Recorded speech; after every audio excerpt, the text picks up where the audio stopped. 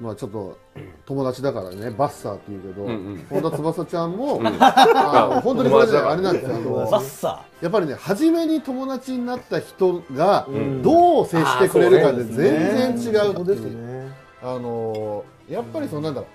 あの新しく入ってきた人をやっぱ教えてあげるじゃない。ただ教えすぎてもあなんだ面白くないなと思われあそうちゃう。し難しいっすよね。あの負けてもいいから一緒に行こうっていう人であこれ私頑張ればもっとみんなと楽しく遊べるんだってなってそこからやっぱ急に面白くなって出会いってすごい大事挫折しないようにうまく支えるみたいな。そうそうそうそう。なんだよね。ひな鳥があの最初に親と認識した人っていう。か感じですよね最初に会った人でやっぱり印象すごい変わるのは確かにそうだと思います。だからね今日見てる人にそんな人はいないと思うんですけど、うん結構それぞれのゲームをね、あそこがダメだあれがダメだっていうと、やってない人からすると本当にダメなんじゃないかと思っちゃうところが結構あると思うんですよ、だから今日はこうやって集まったのもあれなんですけど、うん。なんかねそれぞれのゲームのユーザーがそれぞれの違うゲームをね、なんかああじゃないこうじゃないようなまあやめましょうと。あれはねそうですね、はい。せっかくなんか我々割と仲良くこそうや傷の舐め合いをさせてもらってるのにねなんかお互いのゲーム同士のプレイヤーが一部ね、こういがみ合ってる風なのがね、